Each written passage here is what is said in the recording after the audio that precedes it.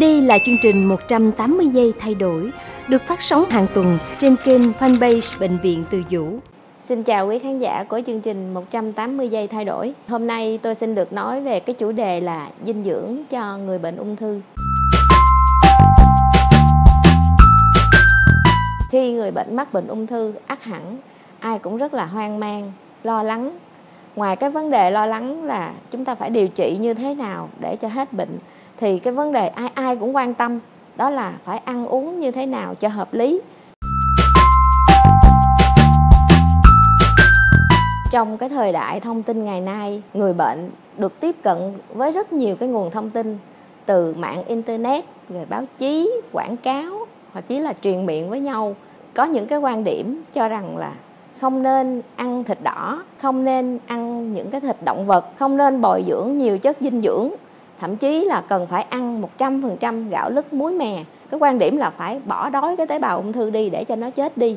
Thì những cái quan điểm đó, nó có hợp lý và nó có phù hợp với khoa học hay không? Thì à, như chúng ta biết, ung thư nó là một căn bệnh mãn tính. À, bản thân căn bệnh này nó cũng có tác động tiêu cực đến tình trạng dinh dưỡng của bệnh nhân. Nó làm cho người bệnh ăn ít nè, ăn khó tiêu, ăn kém và thậm chí là nó sẽ sụt cân. Điều trị ung thư, nó là một cái quá trình điều trị lâu dài và kết hợp rất là nhiều phương pháp. Có thể phải phẫu thuật, phải hóa trị, xạ trị và những cái liệu pháp miễn dịch. Tất cả những cái phương pháp này, ít nhiều gì nó cũng ảnh hưởng đến dinh dưỡng của bệnh nhân. Ví dụ như là vô hóa chất làm cho bệnh nhân là buồn nôn nè nôn nè, nó gây viêm loét đường tiêu hóa.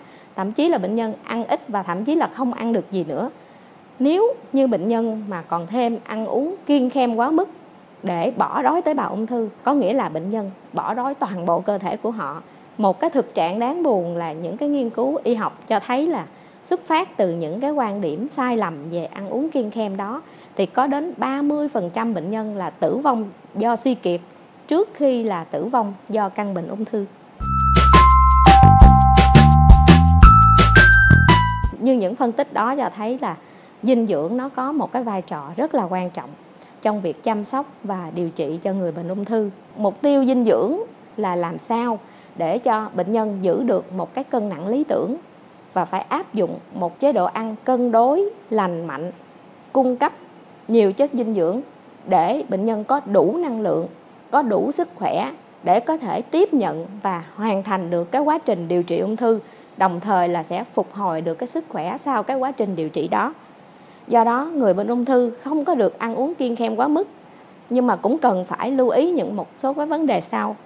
Nếu như người bệnh ăn ít, thì phải ăn giàu chất dinh dưỡng, giàu năng lượng, giàu đạm. Chú ý bổ sung những cái sản phẩm mà nó có cái nồng độ dinh dưỡng cao, ví dụ như là những cái loại sữa cao năng lượng chẳng hạn. Người bệnh nên chú ý làm cho tăng cái sự ngon miệng của mình lên.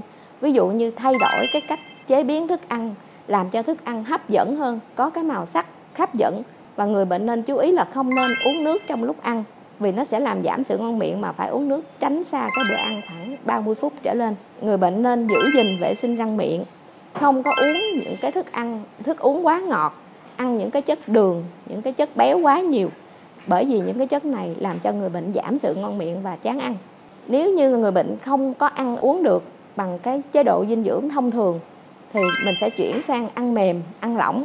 Ví dụ như ăn cháo, ăn súp, uống những cái loại sữa cao năng lượng. Còn người bệnh mà không ăn uống gì được luôn nữa, phải đến cơ sở y tế để có cái sự hỗ trợ dinh dưỡng, ví dụ như truyền qua đường tĩnh mạch hoặc là nuôi bằng ống thông dạ dày. Như vậy, chúng ta thấy một cái chế độ ăn cân đối cho người bệnh ung thư hay là bất cứ những cái đối tượng nào khác, đó là một cái điều hết sức cần thiết.